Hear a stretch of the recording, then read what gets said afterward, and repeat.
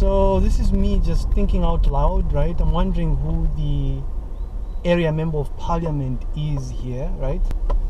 Um, and actually, I'm wondering who the previous area member of parliament was. I'm not quite sure if all of this is part of Munali, but if it is, then goodness, this is a huge disappointment here. This is a part where I again ask myself why, why in the hell I decided to come here. Never again.